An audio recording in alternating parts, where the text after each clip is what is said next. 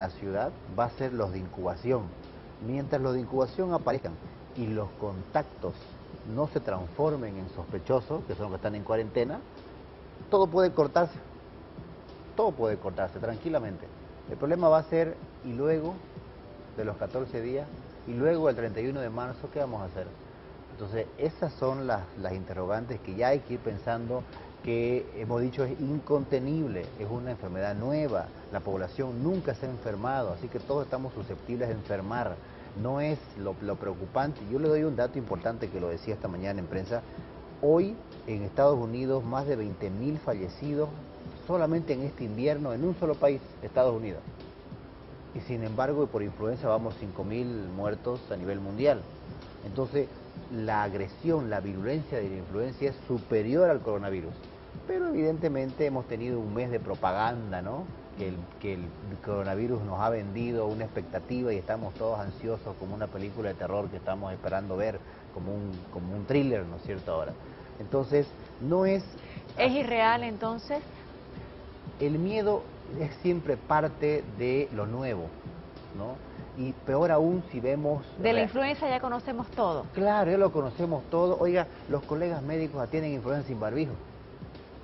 Y si igual se enferman, ¿no es cierto? Ahorita tenemos más de 300 casos de influenza, tenemos ya 55 casos positivos y tenemos dos fallecidos por influenza.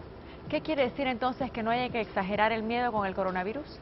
Es el tema, el miedo no debemos exagerarlo, pero eso no nos debe quitar la preocupación de protegernos. Pero hay, hay cosas exageradas, como cuando el personal de salud nos pide estar completamente vestidos de astronauta y nos critica y nos dice, ¿por qué el director del CEDES visitó a una paciente solamente con un barbijo? Porque no necesito más a un metro y medio de distancia, porque el virus no está en el aire flotando, porque yo no le voy a hacer un procedimiento que genera aerosoles, ¿no? Mostrábamos ayer este, la, la, la donación que recibimos de Repsol y las compras que hemos hecho de equipo, pues prestábamos un traje blanco, un traje blanco que lo hemos visto en otros países, los trajes blancos enteros, ¿no es cierto?, con los con, lo, con los con Hoy nos informó el secretario de la Gobernación que te llegaron 2.000 de esos trajes, ¿correcto? Eso, eso es lo que ven imágenes, exactamente. Eso es lo que se ven en Correcto, eso ha llegado como donación. Esos trajes, ¿quién los debe usar? Solamente el personal médico cuando... No eso, eso es una exageración, ¿no es cierto? Solamente el barbijo N95 y el traje completo, que lo van a utilizar los médicos o los bioquímicos que van a hacer un procedimiento invasivo al paciente y corre el riesgo el paciente de expulsar saliva, ¿no es cierto? Y que el médico lo reciba. Luego es el único momento en el que uno necesita usar eso. ¿Usted tiene datos de cuántos respiradores hay en el departamento de Santa Cruz? En todo el departamento. Le doy solamente un solo dato que tengo ahorita en la mente fresco. El San Juan de Dios tiene 21 respiradores funcionando hoy. ¿El Hospital San Juan de Dios? Solo el San Juan de Dios tiene 21. ¿Por qué? Porque tiene 19, 17 unidades de terapia intensiva, ¿no es cierto? Y tiene la emergencia que funciona con tres unidades de terapia mínima. Tiene 21 respiradores funcionando hoy. El japonés debe tener, solo en su emergencia, debe tener cuatro respiradores.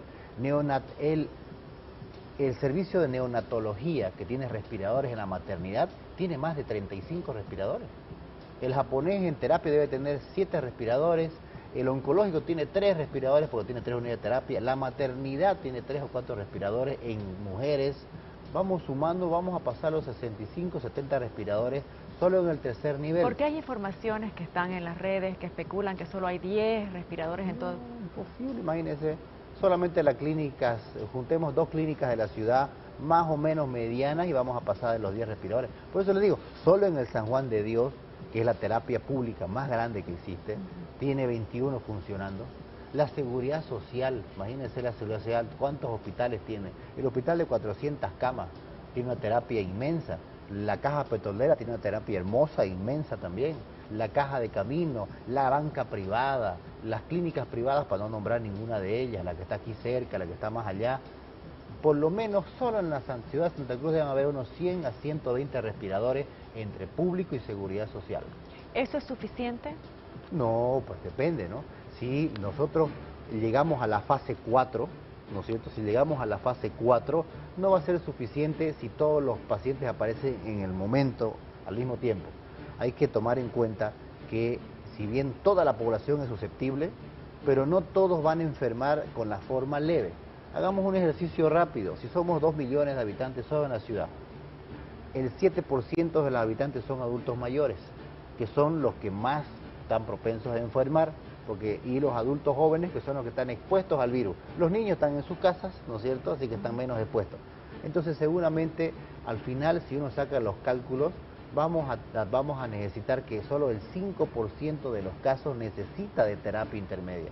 Al final vamos a necesitar evidentemente, este, vamos a tener que tener unas, unos 500, unas 500 unidades en el, en el departamento, pero no al mismo tiempo, ¿no? en el trajín del año, en la medida que vamos a ir enfermando. Todos vamos a llegar a enfermar en algún momento de coronavirus, así como todos hemos enfermado de influenza y no nos hemos dado cuenta, u otros sí, ¿no? Por suerte, por suerte digo, es un tema del azar, hay muchos factores, solo vamos cuatro casos importados. He escuchado esta mañana algún medio que ya hablaba de tres y uno por contagio. No tenemos ninguno por contagio local, todos son importados, espero que nos mantengamos así. ¿Dónde es la mayor fuerza en nuestro tiempo que estamos utilizando como Servicio Departamental de Salud? Aparte de luchar contra mucha especulación, situación de la población, el mismo rubro de salud, en eh, la situación de eh, la atención, sobre todo para la toma de muestra, eh, las llamadas de la gente y nos concentramos en los contactos. Lo más importante ahorita para nosotros en la parte epidemiológica son los contactos, porque son los que han estado en riesgo. El que ya está confirmado, ya está confirmado. El contacto, que por lo general estamos viendo que es de 1 a 6, de 1 a 10, no, el primer caso tuvo pues, Cuando se habla de contacto, por favor, explique bien de qué se trata. Bien. ¿Quién es un contacto? Vamos a hacer el ejercicio. Yo acabo de llegar, digamos que de Italia, hace cinco días. Estoy en este momento aquí, ¿no es cierto? Estoy a casi dos metros de usted. Ya, usted me puede decir, soy contacto, es posible. Pero si aseguramos con las cámaras de cuando yo ingresé, la saludé dándole la mano, ¿no es cierto? O puse la mano aquí y usted la puso también cerca mío, usted ya se convierte en un contacto, ¿no es cierto? Yo estoy cerca de usted y usted posiblemente es un contacto, posiblemente pueda tener la enfermedad, pero yo ya estoy enfermo si es que yo estoy con la sintomatología. Si yo llegué de Brasil o de Italia ayer, ¿no es cierto? Y aún estoy aparentemente sano, no estoy transmitiendo. Pero si estuviera con fiebre, tosiendo en este momento, usted es un contacto de riesgo, es un contacto primario, porque usted no viajó, pero estuvo cerca de alguien que, ya tiene síntomas. que a mí me va a dar, que me tiene que dar positivo primero, no que tengo síntomas todavía. Si hoy voy al médico, porque viajé hace tres días atrás, estoy con síntomas y me hacen el laboratorio y doy positivo, usted es un contacto, la ponemos en cuarentena 14 días. Ahora, si usted me vio hoy día y mañana está con fiebre, y dice tengo coronavirus, no es coronavirus, porque necesita en su cuerpo estar cinco a más días incubándose el virus para que tenga fuerza para enfermarla primero y luego usted transmitir. Entonces tenemos muchas llamadas de personas que dicen, he estado con unos chinos en un restaurante en la mesa de al lado. Y ahorita que hay en Santa Cruz es influenza. Solamente fiebre y dolor de cabeza es dengue, ¿no es cierto? Tengo dolor de cabeza, fiebre y congestión nasal, es influenza, lo más seguro.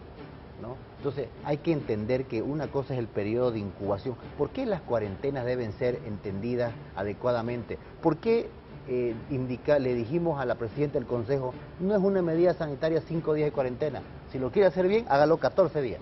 ¿Por qué? Porque en cinco días recién van a aparecer los síntomas. Necesito 14 para cubrir todo el rango de la población porque la, literatura y los casos de China nos dicen que el virus tarda hasta 14 días en incubar, es decir, en que yo porto el virus, se desarrolla en mi cuerpo, tiene fuerza para enfermarme recién, y en ese momento comienzo a transmitir. Entonces, para recapitular, yo estuve cerca de alguien que viajó, que no tenía síntomas, y solamente porque estoy cerca de un extranjero o alguien que viajó me siento mal, no es contacto. Eh, ¿Sirve lo que algunas personas están haciendo de ponerse ya en Santa Cruz o en algún departamento del país, ponerse bolsas en los zapatos este, para no pisar, este, tal vez los fluidos que hayan caído en el piso? Sirve para, no, para que no le piquen los mosquitos, sirve para que la influenza no lo contamine, no lo infecte, eh, no tenemos el virus todavía circulando, yo no puedo decir evidentemente el 100%, pero por la situación estadística que tenemos hoy, podemos asegurar que un 99% no existe el virus del corona circulando en Santa Cruz todavía. Porque si estuviera circulando, ya hayamos tenido un sospechoso sin relación de viaje y sin relación de un caso confirmado. ¿No es cierto? Los cuatro casos son importados, llegaron enfermos, se manifestaron sus enfermedades, posiblemente contagiaron a algunos que son contactos que están en cuarentena. Estos contactos en cuarentena, los más de 120 contactos que tenemos ahorita controlando en sus casas, solamente dos han presentado fiebre. Obviamente por reserva no voy a indicar de cuál de los casos, pero solamente tengo dos hoy que han presentado fiebre y que los hemos valorado por médico y lo estamos controlando. Si mañana continúa su fiebre y aparece alguna manifestación, los convierto en sospechosos y les mando a hacer la prueba. Y en ese momento, si diera positivo un familiar de uno que vino y, es positivo de coronavirus, que es un contacto y se convierte en sospechoso, y fuera positivo, pasaríamos a la fase 3, la de Oruro. En ese momento el riesgo es inminente de la transmisión comunitaria en toda Santa Cruz. Muy bien, permítame. Eh, panorama mundial del coronavirus lo repasamos cuando faltan 14 minutos para que acabe este jueves 18 de marzo. En este momento en todo el mundo más de 215 mil casos y ya está en 164 países. Quiere decir que solamente faltan 29 países para que el coronavirus esté en todo el mundo. Y vamos a ir con más casos, más detalles, país por país, porque hay países donde la situación se está complicando en las últimas horas, por la cantidad de muertos, por la cantidad de nuevos casos, por las percepciones ciudadanas con respecto a esta situación. Miren lo que pasa en Brasil. Se declara en estado de calamidad tras confirmar su primera muerte por coronavirus. Miren la palabra, por favor, estado de calamidad. El Ministerio de eh, Sanidad confirma 300 casos positivos y proyecta 20 semanas extremadamente duras. Atención que esto es aladito en Brasil. Sigamos por favor. Los españoles piden medidas mucho más duras para una crisis que será muy larga. Ya han hecho una encuesta, la vamos a compartir, por favor. ¿En qué medida apoyaría a cada una de las siguientes medidas? Ahí está. La pregunta, mire, y la primera opción es Cualquier persona que viaje hacia y desde países infectados debe someterse a un examen médico obligatorio. ¿Está de acuerdo con esto? El 75.3% de los españoles. El gobierno debe imponer cuarentena obligatoria para aquellos que podrían tener la infección. Está de acuerdo 72.9%. El gobierno debería prohibir cualquier viaje hacia y desde los países afectados. Está de acuerdo el 70%. Las aerolíneas de mi país deberían dejar de volar a países infectados está de acuerdo el 64% y deberían prohibir los desplazamientos de personas si no son estrictamente necesarios, está de acuerdo el 53%. Sigamos mostrando qué pasa en el mundo. A ver, esto es en España, coronavirus en España, más de 14.000 infectados, 741 muertos. Y fíjense parte de las pruebas que se están haciendo. Lo de Italia es más complicado, ¿no? Récord mundial de fallecidos en un día, 475 muertes por coronavirus en 24 horas. Uno estima que a este paso, en uno o dos días, Italia tendrá más muertos que China por coronavirus.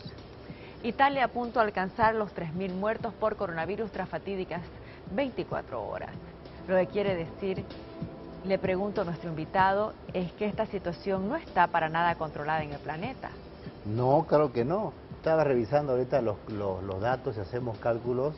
Coincide justamente entre el 5 y el, y el, 7% justamente de que eh, podamos, eh, como es la estadística mundial, para los casos graves, ¿no?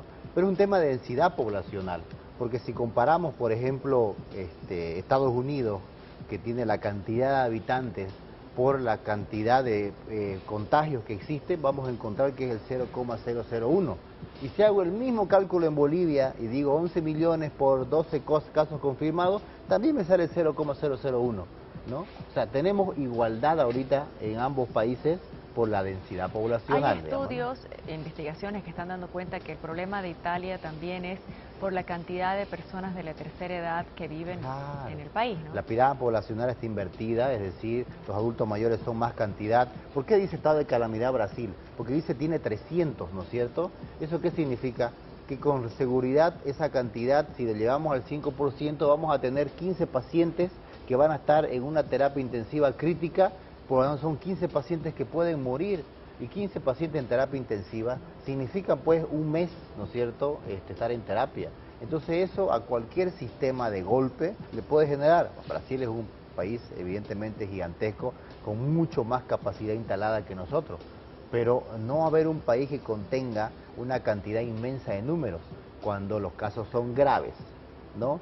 Evidentemente la proyección que considerar la gravedad las formas leves van a estar en sus casas, van a estar en sus casas. Pero llega un momento que eh, cuesta mucho, se necesita mucha educación y mucha, mucha coerción, como hace Italia, ¿no es cierto? Usted sale a la acera de su casa, son 250 euros de multa.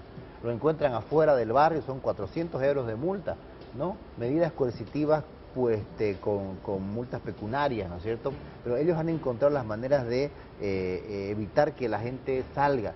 Y es cierto, Italia tiene un tema complicado que es la migración, las colonias, eh, de, todas partes del mundo, ¿no es cierto? La parte turística, es como una nueva Babel, ¿no es cierto? Donde confluyen muchos países alrededor, porque está en el medio, al final y al cabo, y es altamente turística Italia, eh, y aparte de la población que tiene.